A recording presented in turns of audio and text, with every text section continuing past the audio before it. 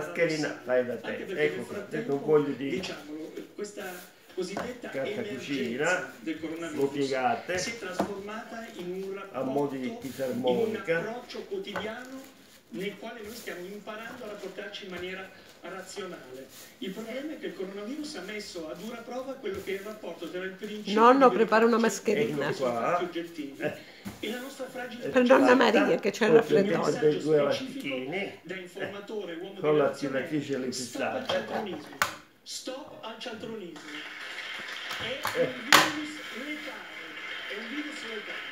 E questo vale sia per quello che eh, riguarda la popolazione, sia chi informa, ma anche chi ha responsabilità Ecco. istituzionali. Questa è la mascherina, Sì, la guarda. aprite e così, eh, quando non l'avete usare. Questa vicenda, insomma, al di là di quelli che sono i rischi sanitari, ce l'hanno spiegato in tutte le lingue del mondo, ormai credo che sia chiaro a tutti. Ecco qua, e potete fare quello che Ecco. volete. Questo Ciao ciao.